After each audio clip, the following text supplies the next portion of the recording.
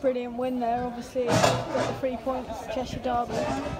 Yeah, no, massive. Say we built on from the result the other night, and I think it's important that we, after two bad results, that we get back on the win ways. And the lads were brilliant today, and it was hot weather, and took our chances. It could have been more, um, but 2 0 away from Cheshire Derby. Happy days.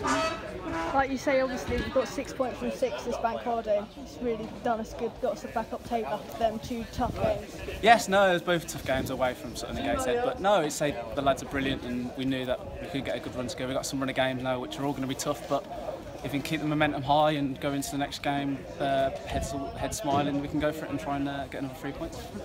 On a personal note, you've had a couple of sub appearances, got your chance to start today and really took that. Yes, no, you say it's been a bit frustrating not playing, but no, I'll, I'll always be ready once the gaffer calls me or I'll start, I'll come on from the bench. Um, grateful for coming today, and yeah, as, uh, as long as I'm playing, I'll give everything I can for the team.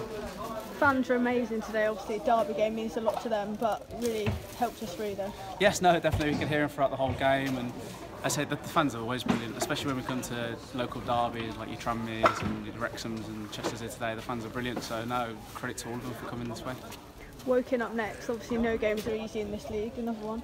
No, no, they've had new owners, so they've brought a few new players in. So, no, it's going to be a tough game, but as long as we're going the game with our heads, heads on it and go through it, we can try and get another three points.